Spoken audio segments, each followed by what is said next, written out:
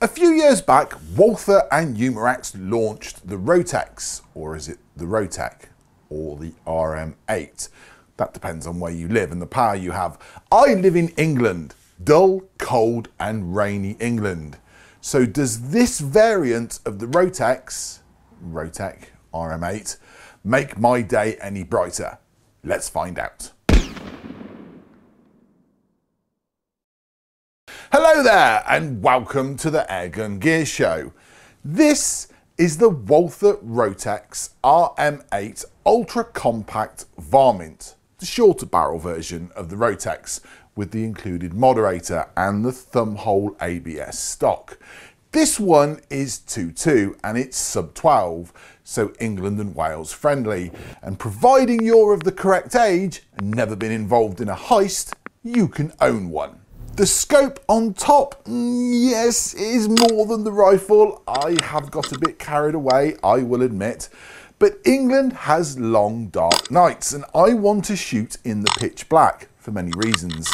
Mainly that I am so fat and slow nowadays that what I'm after sees and hears me coming from the next county. So I have gone full stealth night vision with a PARD NV008 LRF on top and the review of that scope is coming soon. So what have we got then? Well, it's 3.7 kilograms in weight and 78 centimeters long minus the moderator. And with the moderator, it's 92 centimeters long. And the barrel is 33 centimeters long. That barrel works well, but do keep it clean. It will help. But don't use a cleaning pellet. The manual says no. I'm unsure why. It just says no. Pic rail on the front of the stock, that's nice, and the stock is an ABS plastic one. Sounds hollow and solid in different places. Stippling all over and the action is all metal. And the magazine is a very simple 8-shot rotary system. Nothing clever, it's designed to just work and it loads from the left. Big side action bolt, dovetail rail on top and I've added a conversion to Picatinny rail plus an auto reset at the rear, which engages with every shot and is resettable between fire and safe. The trigger is plastic, but quality, and yes, there is a small amount of adjustment underneath. Rubberized shoulder pad, and the cheek piece is fixed, but works well, and is just right for most scope heights. There is a fill gauge underneath, and it fills via a probe, recommended to 232 bar. Why 232 bar? I don't know. It's kind of like BSA. Here's a good game. You try filling to 232 bar using a bottle. It's not the easiest thing in the world. Shot count in 2.2, I'm getting around 140 shots on the nose from a full fill. And I've found from my testing that once you shoot down yeah. to around 110 on the gauge on the rifle, mm. it still shoots, but for longer ranges, this would be my recommended top-up point. It's nice and consistent in the shot strength, thanks to the regulated system, and it kicks out with a 15.89 grain pellet in the area of 550 feet per second. You want to go faster, use a 13.43 Jumbo RS. But the barrel doesn't like those pellets downrange. And talking about downrange, let's talk accuracy many, many hours I've been at this, and my big conclusion, it's the Hades for pest control out to 50 yards. FX or JSB's 15.89s for general target work, and if you want to bash out pellets and smack stuff out to 25 yards, it's the RWS Fields in 5.51, let's be clear. Now, I'm not going to claim that this is going to outshoot a 1500 pound rifle, let's be clear.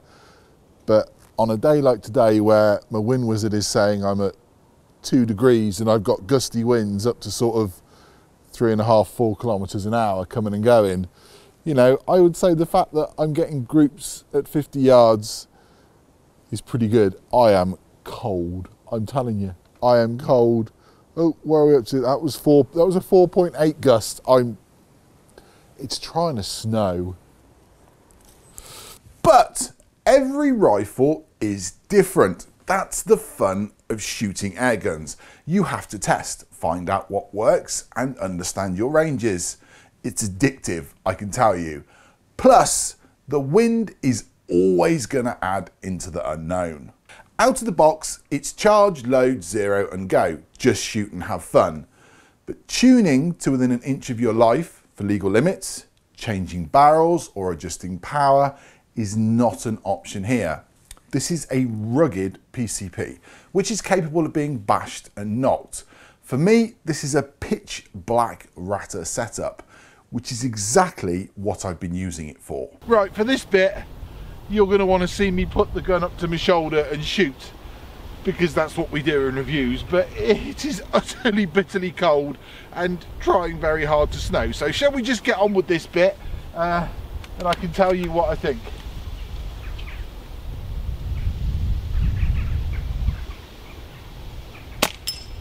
There you go.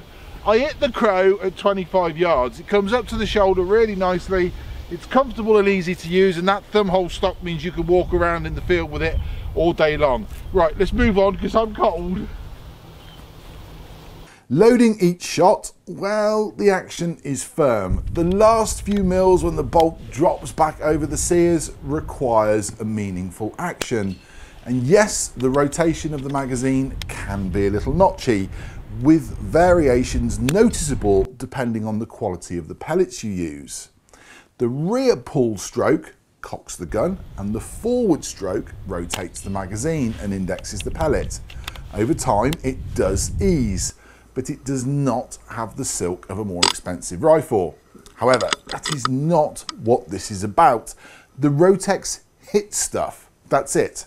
I need to hit that over there, and believe me, it will.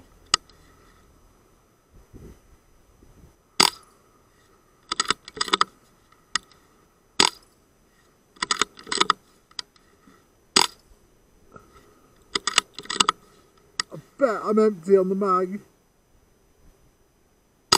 I am. It is so cold out here. Oh, I got to tell you that even even between my fingers, look, and you can't see that, but the skin on my fingers has actually split from being outside over these last few days and my fingers are actually bleeding now while I shoot. Yeah. I better clean the gun in case anyone else has a go with it. Not likely though, because I'm having way too much fun. Put that on record. And we're off again. Mr. Crow.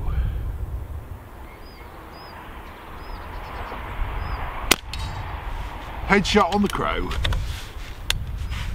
That's the only thing is that that is an eight shot mag and it's like you have to count where you've got to because you're like, was that the sixth or the seventh? You feel like Dirty Harry every now and again. Did I fire six or seven or eight?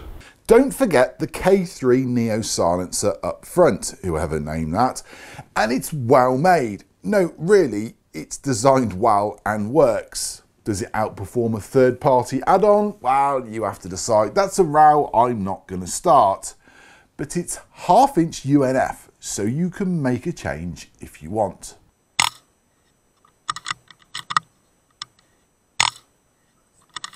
I tell you, you want to go plinking in the dark, my pitch black setup works. So to conclude, what do I think of the Rotex RM8 Varmint? Well, budget-wise, depending on the model, they come in between 400 and 500 pounds in the UK. That's a good chunk of buttons, but it's not 1500 quid. And what you're shooting at in the field doesn't care what fired the pellet. It just needs to know if it's lights out time or not. It's not a competition winning rifle, but set right an ideal 25 yard pester, pellet on pellet, and with practice 50 yards all day long. Plenty of shots, plenty of smiles, and you have to decide Rotex, RM8 or Rotek.